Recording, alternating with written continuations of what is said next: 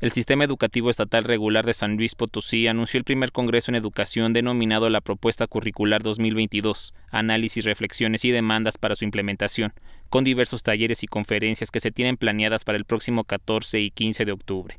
Así lo detalló el director general Crisógono Sánchez Lara, quien resaltó la importancia de que el gremio educativo se adapte a los cambios que se generan en todo el país y a nivel estatal. Sobre todo, estar muy al pendiente de los requerimientos de la propia sociedad que demanda a veces y no a veces, sino de manera muy constante, como lo hace también nuestro amigo el señor gobernador del estado, don Ricardo Gallardo, el de que los maestros entreguemos a la sociedad y al propio gobierno una calidad de la educación y que en estos tiempos, en estos momentos, estamos sujetos a los diferentes cambios que, estás, que sufre el país y que los maestros siempre hemos sido entes fundamentales de estos cambios. Por su parte, María Leticia Castillo Hernández, directora de Servicios Educativos del Sistema, mencionó los objetivos que se buscan con la realización de este evento que se busca repetir de manera anual. En este Congreso vamos a encontrar cómo vamos a concatenar, cómo vamos a vincular desde el aula con la comunidad. Es decir, los problemas de la comunidad serán trabajados y tallereados desde el aula. Es un nuevo enfoque,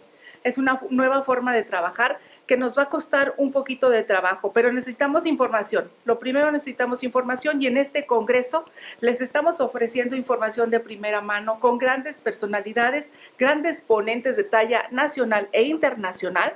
Asimismo, se mencionaron varias modalidades de inscripción. La primera es presencial y completa que incluye cinco conferencias y tres talleres, además de las comidas, un coffee break, brindis de clausura y un kit de bienvenida con un costo de mil pesos. Otro paquete incluye solamente las conferencias presenciales y el costo es de 600 pesos. Para aquellos maestros que se encuentran fuera de la capital, las conferencias virtuales podrán ser vistas pagando una cuota de 300 pesos. Con edición de Salvador Covarrubias, José Luis Vázquez, Noticieros Canal 7.